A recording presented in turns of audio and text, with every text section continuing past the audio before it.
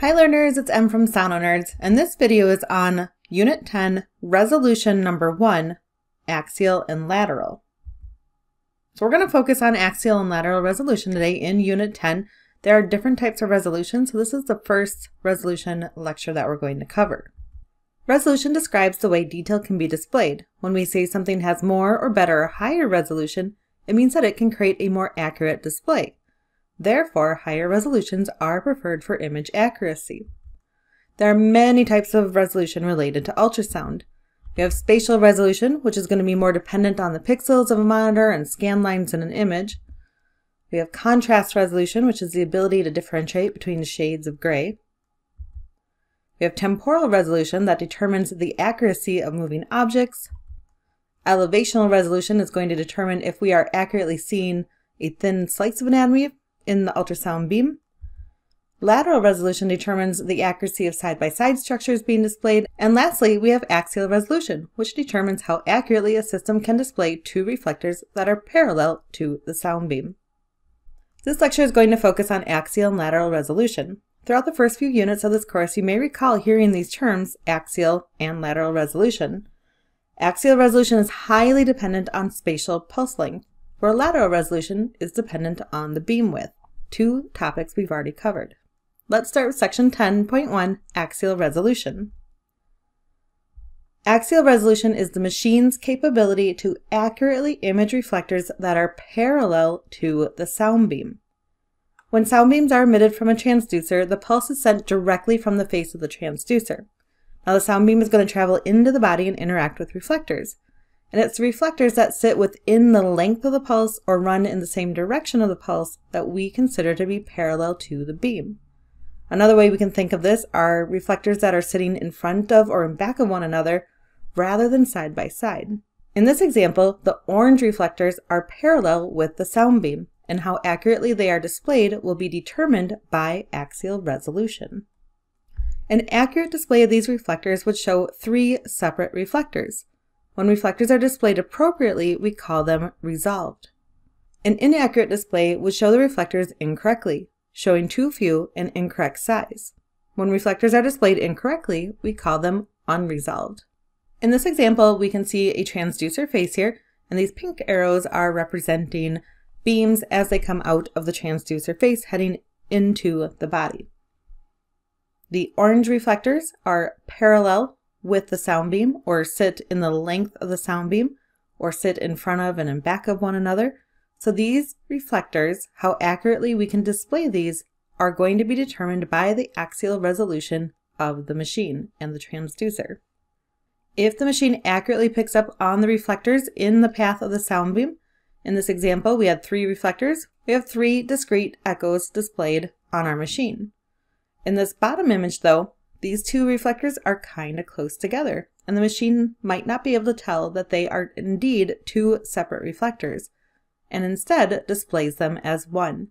This is where we get the unresolved reflector versus resolved, where they're all accurately displayed. Axial resolution is determined by the spatial pulse length. Recall that spatial pulse length, or SPL, is the distance that a pulse takes up in space. If we could see the spatial pulse length, we could get out a tiny little ruler and measure it. But we actually can't do that. We can, however, calculate SPL, and therefore calculate axial resolution. So as a reminder, this is the formula for SPL. We have SPL in millimeters is going to be equal to the number of cycles in a pulse multiplied by the wavelength, which is also millimeters. And here is our new formula for axial resolution.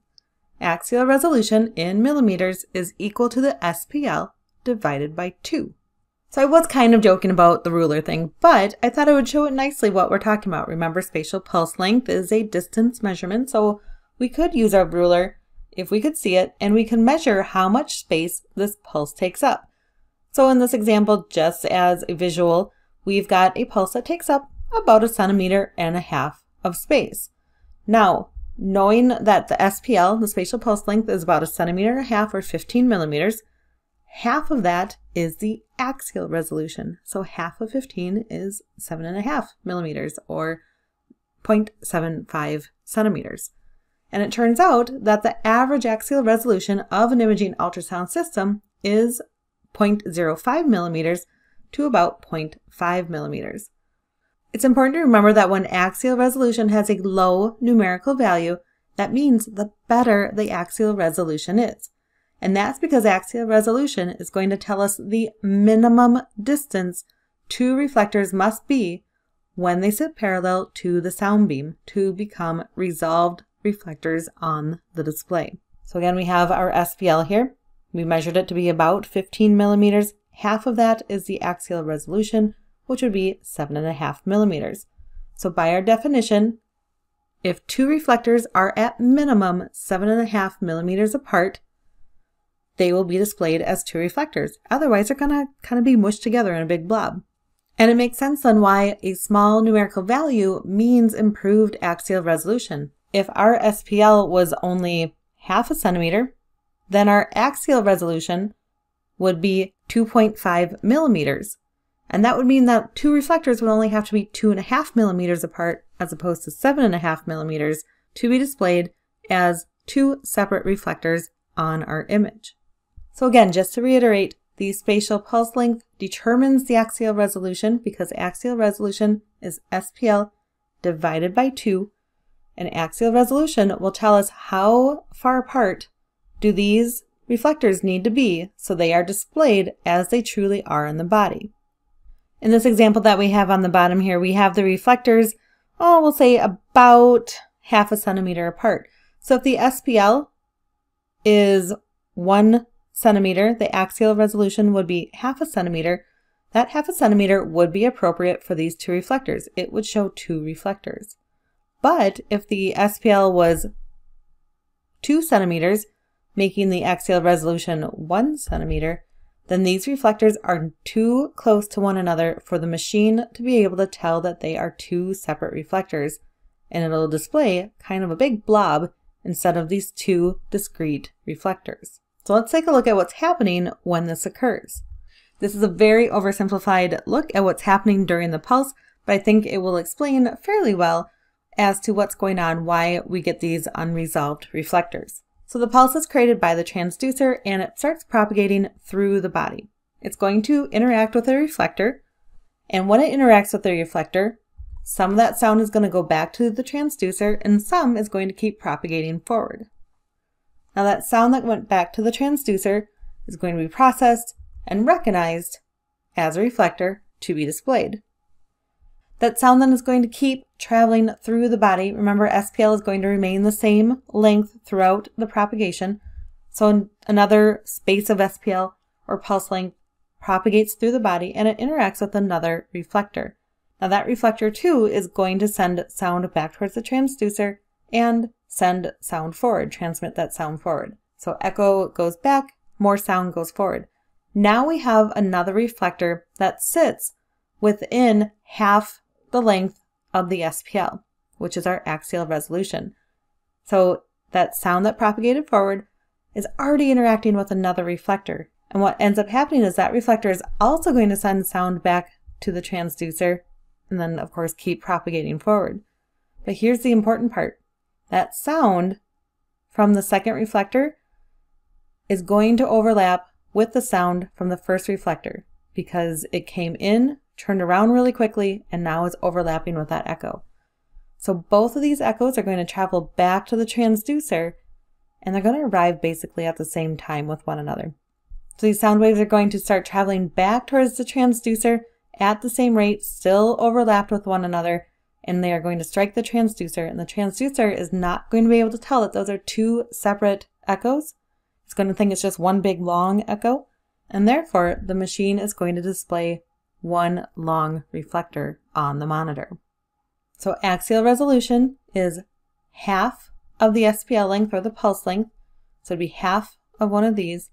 If reflectors sit too close together with one another, the echoes from these reflectors are going to overlap and cannot be processed as separate echoes by the machine.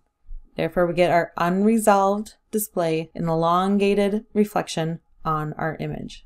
Let's take another look at an example using some numbers. So if the SPL of this one on the left is 4 millimeters, that would make axial resolution 2 millimeters because axial resolution is half of the SPL.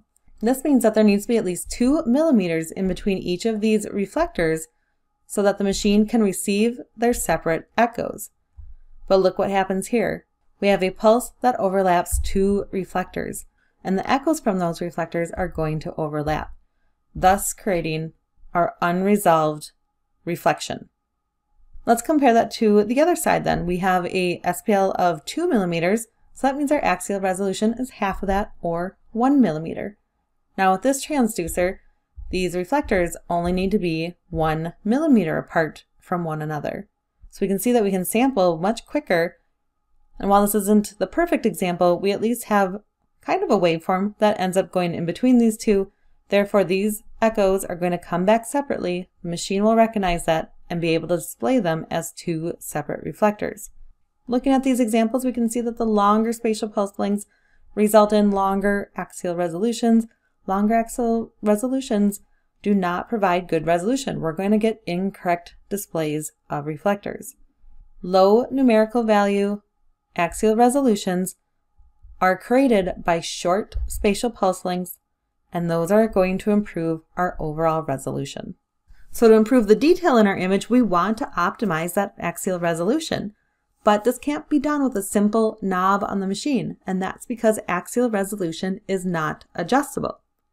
Instead, we really need to take a closer look at the physics behind axial resolution so we can make better choices about our equipment. Recall that spatial pulse length and wavelength were both parameters that were dependent on not only the machine, but also the medium through which the sound beam travels in. So for ultrasound, that means that it's tied to the frequency in the manufacturing of the transducer, as well as the soft tissue through which it travels. And if it's true for spatial pulse length, then it's also going to be true for axial resolution. So if we take our spatial pulse length formula and our wavelength formula and kind of mush them together with the axial resolution formula, we actually get a new formula for axial resolution in that it is equal to 0.77 times the number of cycles divided by the frequency. Now this is not the axial resolution formula that I want you to remember. The big one is SPL divided by 2. But what we are seeing here is how the wavelength formula and the SPL formula are applied to soft tissue, because normally this would be 1.54 millimeters per microsecond, but we had the divide by 2 piece of it, so now it's 0.77. We still need the number of cycles because we are referring to the spatial pulse length, then we divide that all by the frequency. So again, kind of a mishmash of all of those formulas together give us a new axial resolution formula. And this is important because now we can start to analyze the relationships that determine axial resolution. By analyzing this formula, then we can see that frequency and axial resolution are inversely related. So frequency is in our denominator position, which is going to be inversely related to the quotient. Frequency increases, numerical value of axial resolution decreases. We also see then that the number of cycles is directly related to axial resolution. If we increase the number of cycles, we're also going to see an increase in the numerical value of axial resolution. Remember, increased or higher numerical values are bad for axial resolution. We want small numbers. Smaller numbers are good for axial resolution. So while we don't have a knob that can improve our axial resolution, we can choose high frequency transducers. So to increase the frequency is going to give us short wavelengths. Short wavelengths give us short SPLs and short SPLs improve our axial resolution.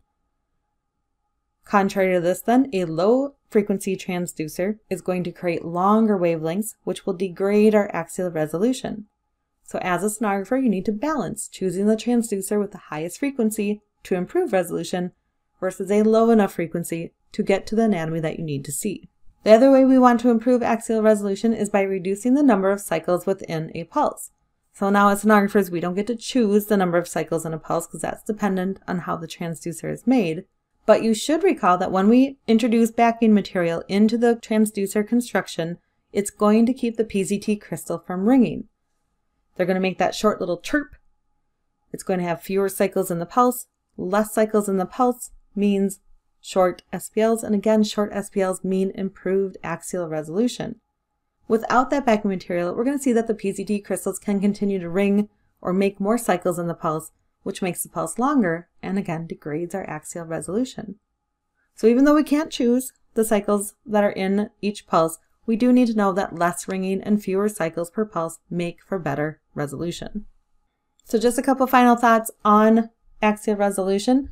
To have the best axial resolution, we want the highest frequency and the fewest cycles. So if you're presented with a test question that asks you which of these transducers is going to provide the best axial resolution, this is what you're looking for. High frequencies, low number of cycles per pulse.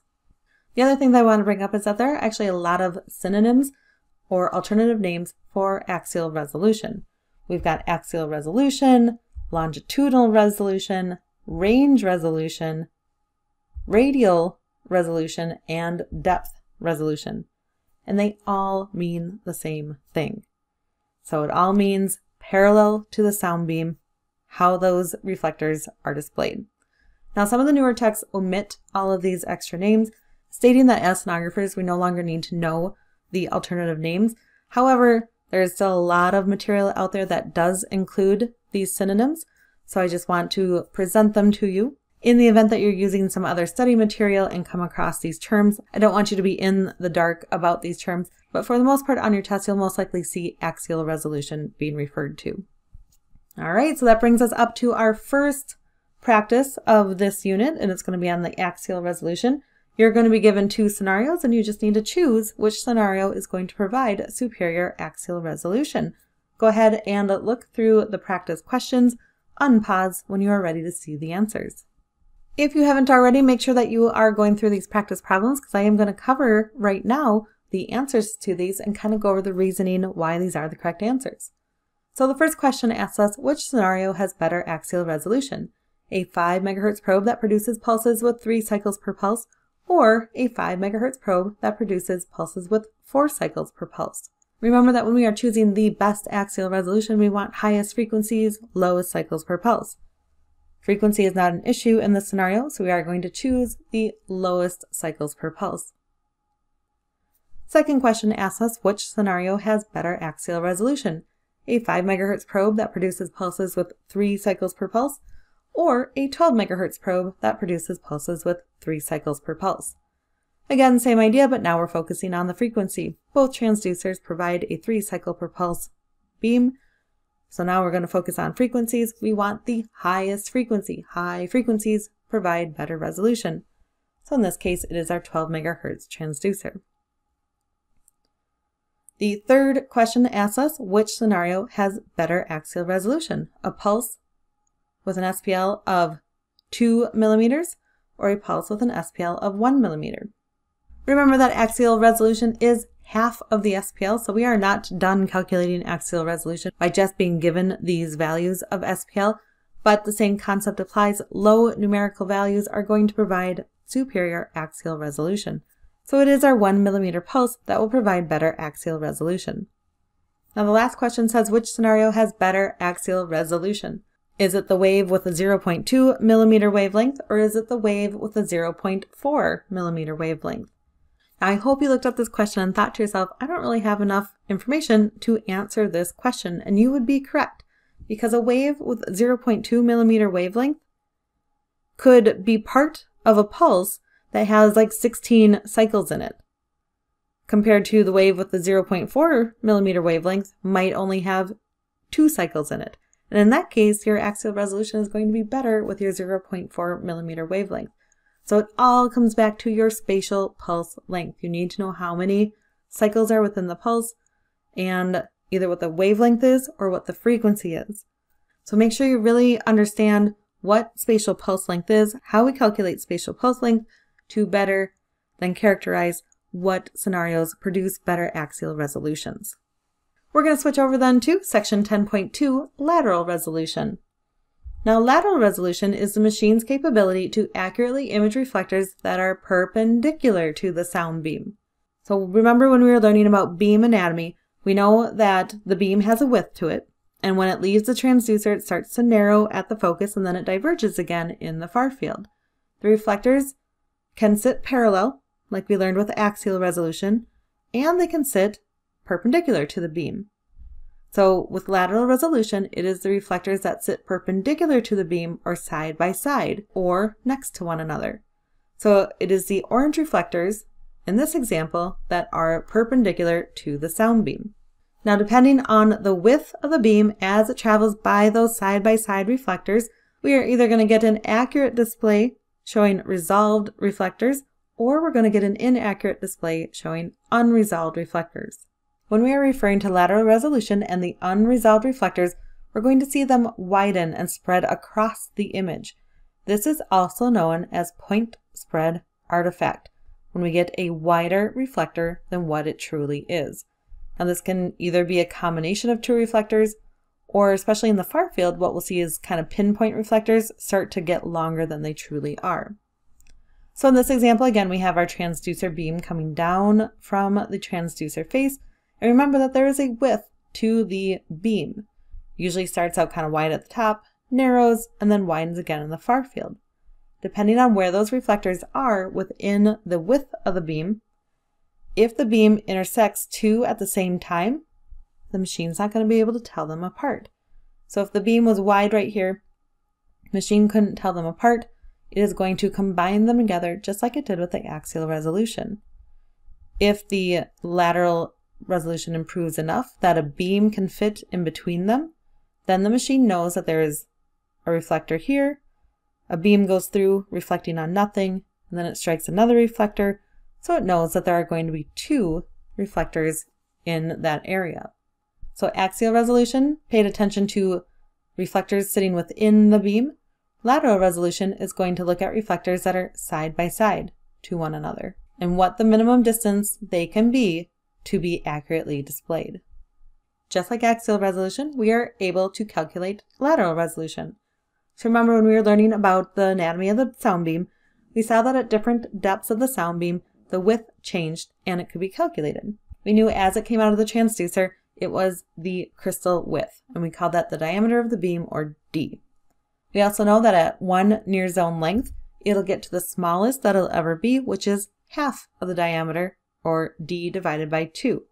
And once the beam travels two near zone lengths, it'll again diverge to the width of the crystal, which is the same width as d again. So the good news is, is that the formula for lateral resolution is also pretty easy. Lateral resolution in millimeters is equal to the beam width in millimeters. And again, the smaller the numerical value, the better the lateral resolution is, because this is the minimum distance that two structures need to be from one another to be represented as two separate structures on the monitor. When we have a smaller numerical value, it means the objects can be closer together and still be displayed appropriately. Now recall when we are making an image with our modern transducers, a beam is sent out, it creates one scan line, it scans a new area, creates a second scan line, and so on and so on and so on until we create a full image. And that's kind of what's happening in this diagram here.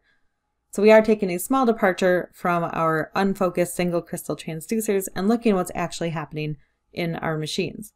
So again, the beam is sent out, interacts with reflectors, and that information is sent back to the transducer to be displayed. What I want to point out is that as that beam is traveling across the anatomy and those reflections are coming back, if the beam overlaps two reflectors at the same time, then the machine will not know that they are indeed two reflectors. In this example here, it overlapped both, so we get an elongated structure. Then we had a gap, a new structure, a bigger gap, hits another structure, so it can be displayed as two separate items. So with lateral resolution, we need to have a moment where there is nothing coming back from that area. Otherwise, the machine just thinks it's one long reflecting surface. Now, improving lateral resolution is going to require just a little bit more of a nuanced discussion because up until that last diagram that I showed you, we've really been talking about an unfocused beam, which means that there is no external apparatus to help focus the beam like a lens, a curved element, or electronic focusing. So the beam width and the focus that we've been talking about has been a natural focus that occurs due to Huygens principle. And again, remember that's because it is going to naturally converge at the focus, becoming half the diameter of the crystal, and then start to diverge again in the far field. So remember, if you're ever asked to calculate lateral resolution, that is the transducer that you're calculating for, the single crystal, unfocused natural curvature of the beam. However, it's important to know that regardless of the transducer, as long as it is focused, the best the lateral resolution will ever be is at that focus because a focused or unfocused beam is going to narrow. That's going to have the lowest numerical beam width, which means it's going to have the lowest numerical value for lateral resolution. So remember that at the focus is our best location for lateral resolution. It's important to note too that lateral resolution does change with depth because the beam width also changes with depth. So what we see is a relatively narrow-ish beam as it comes out. So we've got okay lateral resolution up here. As the beam begins to narrow in the focal zone, that's really our good spot. So this is really where we want to place a lot of our anatomy is in that focal zone. This is going to provide relatively good image quality. The best lateral resolution point is at the focus. We really want this area at the level of our area of interest. Remember too then as the beam diverges, it doesn't immediately become so wide that we can't use it. So we do get an okay region into the far field. And then once that beam just really begins to diverge, that's where our worst lateral resolution is going to be. And this is really true for all transducers. If we apply some numbers to our example, we can say that the diameter of the crystal is 10 millimeters. So we know that as the beam comes out, it is also 10 millimeters. It's going to start to converge to the natural focus. And again, the smallest it'll get is down to 5 millimeters or half of the diameter of the crystal. After the focus, it's going to widen again to 10 millimeters when we are two near zone lengths away. After this point, it's going to go to 11, 12, 13, 20, 25 as it just keeps diverging away from the transducer face. So we will see, again, okay lateral resolution up here, getting better as we get to the focus, best at the focus, worsening then as we get into the far field, and extremely bad in that further far field. It is the width of the beam then that tells us what is the minimum distance any of these reflectors need to be to be displayed appropriately. So in this example, beam fit right through them at 5 millimeters. So we have two separate reflectors because the machine could tell that there was nothing in between them. In this example, the beam comes down and intersects both of these reflectors. Echoes are going to go back at the same time. Machine can't tell the difference between them and is going to display them as one large reflector. So by using the numbers, we can see that as the beam diameter changes, so does the lateral resolution, because beam diameter equals lateral resolution. And then we'll see in the far field, after our focal zone and especially after two near zone lengths, the beam will widen to the point where we really degrade our lateral resolution. So a few final thoughts on lateral resolution. When we compare axial resolution to lateral resolution, the spatial pulse length is typically smaller than the width of the beam.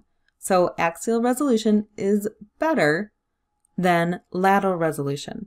And again, that goes back to the numerical value. The small numerical value of the spatial pulse length is less than the numerical value of the width of the beam. And just like axial resolution, many texts do go over synonyms or alternative names for lateral resolution, and those are going to include lateral, angular, transverse, and azimuthal. So lateral, angular, transverse, and azimuthal all mean the same thing, referring to the resolution of the ultrasound system in regards to reflectors that sit side by side or perpendicular to the sound beam. And that's going to bring us to our next practice on lateral resolution. Again, you will be presented with a few scenarios in which you need to decide where lateral resolution is superior, and then we'll also give you a quick calculation problem as well. Go ahead and pause and work through the practice problems, and then unpause when you are ready to see the answers. And here we are with those answers. So the first question asks us which scenario has better lateral resolution at the focus, the 20 millimeter diameter crystal or the 15 millimeter diameter crystal. Remember we want a small numerical value and that at the focus it is half the diameter. So half of 20 is 10, half of 15 is 7.5. So we know that the smaller diameter crystal produces a smaller focus. Therefore, it is going to prove to be the better lateral resolution. Next question says, which scenario has better lateral resolution in the far field? Is it our high frequency transducer or the low frequency transducer? Now this is going to take some knowledge going back to how the beam diverges in relationship to the frequency of the transducer. Remember we are thinking about the divergence or the spreading out of the sound beam in the far field. We want the transducer that's going to provide less divergence or a more narrow beam in that far field. And because divergence and frequency of the transducer are inversely related, we know then that high frequency transducers diverge less in the far field, which is going to provide better lateral resolution. Now the next question is kind of asking us the same thing, except now we need to remember back to how diameter and divergence are related. So in which scenario has the better lateral resolution again in the far field? Is it the large diameter transducer or the narrow diameter transducer? And if you recall back to our beam anatomy, hopefully you remember that large diameter transducers are going to provide a beam that diverges less in the far field. So increasing your diameter means less divergence in the far field, which will improve our lateral resolution. Now the last question is asking, what is the minimum two reflectors must be from one another to be displayed correctly when imaged with an unfocused single element transducer that is 8 millimeters in diameter at the start of the near field, the focus, and two near zone lengths. Lateral resolution is equal to the beam width, and lateral resolution tells us the minimum distance. We need to remember how the start of the near field, the focus, and two near zone lengths are related to one another and to the diameter of the crystal.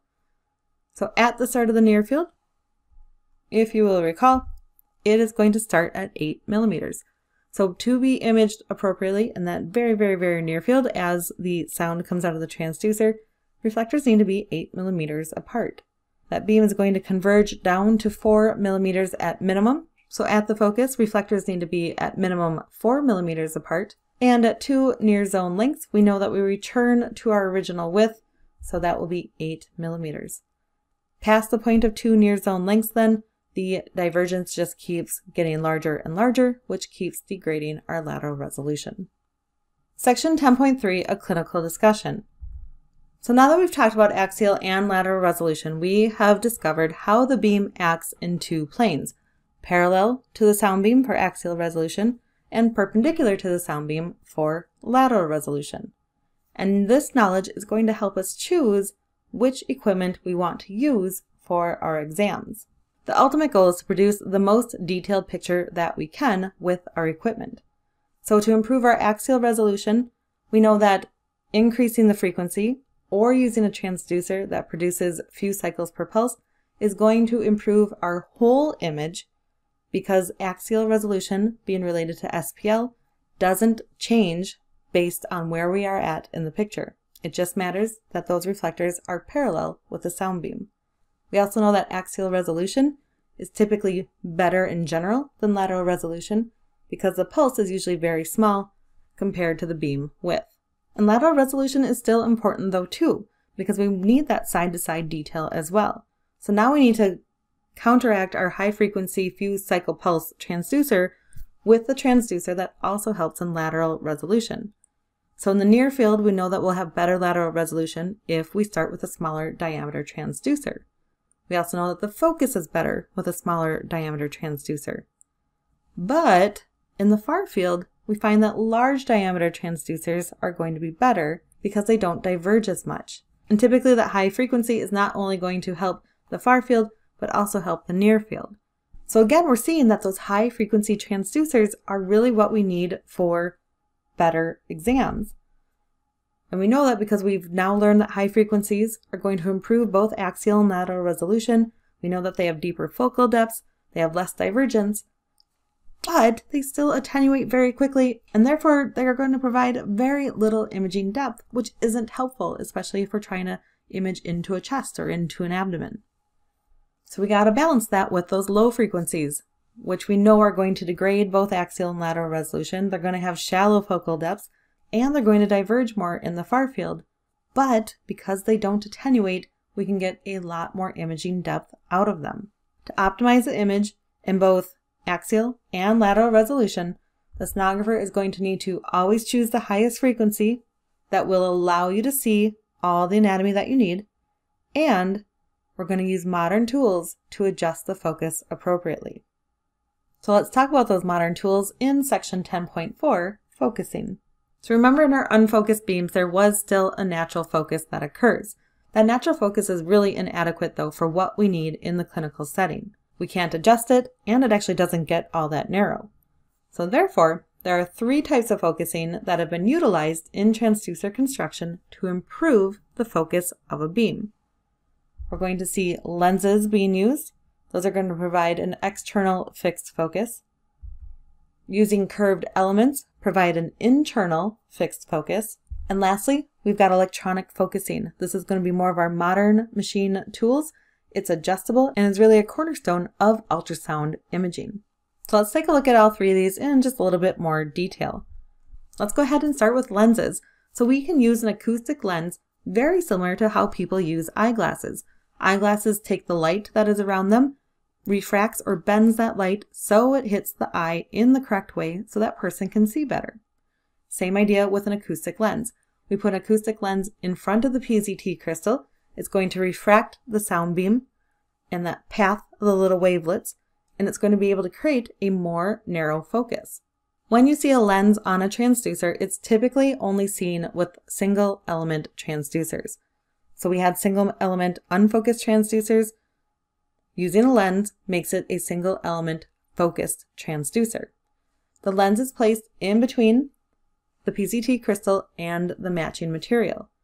Now the kind of difficult part about this is that it does add another impedance through which the sound must travel before getting to the skin. To overcome some of that energy that is lost with the impedance mismatch, these tend to have to use very high power sound energy which then heats up the face of the transducer. It's also worth noting that very steep curved lenses produced very shallow, narrow focuses, where flatter curves provided deeper but slightly wider focuses. When lenses are used, they're built right into the transducer construction, so it's classified as an external because it's outside of the PZT, and it's also fixed, meaning it can't be changed. And the only way you could change it is by switching transducers. When ultrasound transducers were originally made, they had these single element PZT crystals with the lens in front of them, and you knew that that transducer created a beam with like a 5 centimeter focal depth. And if you needed a 10 centimeter focal depth, then you had to go and get a new transducer. It's important to note that when we add in that lens, we can only make the focus shallow compared to the natural focus of the beam. And essentially, the degree to which it's going to focus is mostly determined by the frequency, the aperture, and the focal zone length. In our image here, we have two transducers. Both of them have lenses. This one has a very steep curved lens. That's going to make a very narrow, very shallow focal point, where the little bit flatter lens causes the focal depth to go a little bit deeper and uh, just a little bit wider. But it's still better than the natural focus. So lenses are on the outside of the PZT crystal in between the PZT, and the matching layer. As the material that we used to make PZT elements became more pliable or more flexible, we figured out that if we bend the PZT crystal, then we can introduce another type of fixed focusing with the curved element. So this was the more popular form of fixed focusing as it removed that extra impedance between the PZT and the matching layer. So now again, the sound is going to leave directly from the PZT surface, and because of that, the wavelets end up interacting with one another in a different way than they would have from a flat PZT. And because of that, then we get a different focus. So just like with our lens, if we have a steep curve to our PZT crystals, we're going to see shallow, narrow focuses. If we have flatter curves, we're going to see deeper and wider focuses. Again, the curved element is built into the transducer construction, but this time we call it internal. So lenses were external, curved elements are internal because they involve the actual PZT crystal. It is still a fixed focus and we can't change it. So again, if you wanted to go from a 5 centimeter focal depth to a 10 centimeter, you had to go get a completely new transducer. In our example then, we've removed the green lens and we're just looking at a curved PZT. Again, we have that steeper curve to the PZT, producing a very shallow and narrow focal depth compared to the flatter curve where we get a little bit deeper and a little bit wider, but again, still better than the natural focus. We still find that curved elements can be used in our modern transducers, but what most modern transducers are going to use are electronic focusing. Now, electronic focusing is the bee's knees. It's one of the best things about our array transducers because electronic focusing is adjustable by the sonographer. You've got a knob or a toggle or a button on your machine that allows you to change where the focus is of that beam.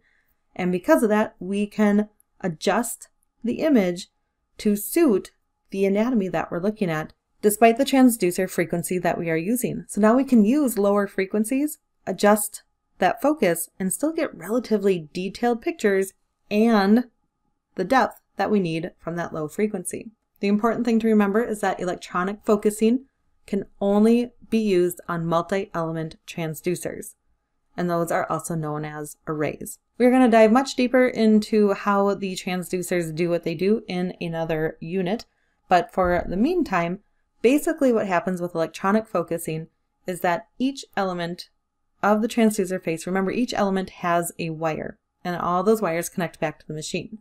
And the machine is going to send voltages down those wires to activate the PZT crystals. With electronic focusing, as a sonographer, you're going to choose where you want the focus to be. The machine is going to recognize that and send a pattern that matches that focus you have chosen. Typically, as the pattern comes down, it needs to come down in a curved pattern, meaning that we're going to activate our outer elements first and slowly activate towards the center. So we're going to see a curved pattern to the voltages. And because these are activated first, and then these and these and these as we work towards the center, those wavelets again are going to interact with one another to create a focus in the ultrasound machine. As you change where that focus is by using your knob, then the machine is going to recognize that and send a different pattern to make the focus maybe more shallow or deeper, or possibly even add in more foci or make the focal zone bigger. So there's a lot of options we can do with electronic focusing. When you're looking at your image, you will typically see a symbol next to your sector. In this image here, we've got kind of this eye bar. This is representing the focal zone. And this little double arrow is representing the focal point, which you'll recall is in the center of the focal zone. We also have some that just represent focal points. So this is a little triangle caret here. That's where the focal point is of the beam creating the image. In this example here, we've got, again, little carets. There's one here and one here saying that this is going to be the narrowest part of the beam. This is where we're going to get the best lateral resolution. We're going to have OK resolution up here, best resolution, OK resolution, and then worsening resolution as we get through. Most likely, they are trying to evaluate the valves of the heart here. That is why the focus is set at that level. And you can see we're just seeing more detail at this level compared to the near field and the far field. We're just getting a lot more definition to our borders. So with our electronic focusing, the sonographer can adjust it, and when you adjust it to optimize your image, you should always place it at or just below your area of interest. And I found this image from a study that was done called The Influence of Ultrasound Equipment Knobology in Abdominal Sonography, and it really exemplified how placing the focal point in the correct area is really going to help your image. In this example, they call it a focal zone. I think it'd probably be more appropriate to call it the focal point because remember, uh, usually when you just have this like one little triangle, the little caret, that's the focal point, and then the zone spreads out on either side of it. But regardless, we can see that the focal point is very high in this image. That means we are narrowing to the point right here, and that's just divergence after that. We are widening the beam down here, meaning we're going to increase the beam width which increases the lateral resolution numerical value. And with that increase in numerical value, that means we worsen our resolution or make it poorer. Compare that now to where the focal zone has been moved down. So now our beam is coming in narrowing at this level in the image and then diverging. What we are seeing is a lot more detail in the vessels that we can see. So we can actually see these walls. We can see the parenchyma much better instead of just kind of spread out blobs. We're seeing a little bit more definition to the parenchyma. We've also brought down a more powerful part of the transducer beam, so we're able to get better reflections from this area because we have more sound energy coming to this area. And this is why, in general, we tell you put your focus at or just below the area of interest because you want to improve not only the sound energy getting to that area, but mostly improve the lateral resolution. Now, using all these focusing techniques does affect how the beam changes in space. And there are four effects that we're going to see. So let's go over those in section 10.5, the effects of focusing. To cover these four effects of focusing, I have two examples of transducers down here. We have a single element flat PZT crystal. This is going to be our unfocused beam coming in at its natural focus, but no external focus is available. We're going to compare it to our focused beam, which has a curved PZT element and is causing the beam to focus in a different way than the natural focus. The first effect that we will see then is that the beam diameter in the near field is smaller than the element.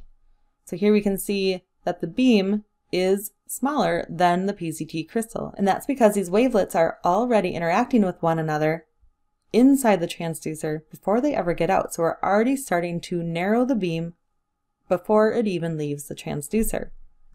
Compare that to our unfocused beam, which is going to start as the same size. Our next effect is that the focus moves closer to the transducer, shortening the near zone length.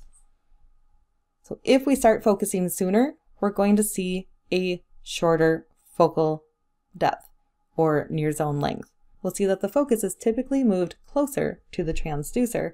Compared to the unfocused beam, the natural focus is typically deeper into the sound pulse. Third, we're going to see that the beam diverges very quickly after the focal zone. We have a shorter near zone length, which means we're going to have a shorter to near zone length. And because of that, the focal zone actually shortens up as well. So after that focal zone, we're going to see a lot of divergence occur. Compare that then to the unfocused beam, Past the focal zone, we will see divergence, but not nearly at the same angle as it does with the focused beam. Lastly then, we're going to see that the focal zone size is reduced in length and diameter as well. So the focal zone is thinner in our focused beam, but it's also not quite as long in the focused beam. So we have a very thin area, which improves the lateral resolution, but it's not a very big area. Compare that to our unfocused beam, we're going to have a longer focal zone, but is definitely wider by comparison to the focused beam. Our focused transducer beam then, smaller than the crystal, shallow focus, thinner, shorter focal zone, and a lot of divergence after that focal zone.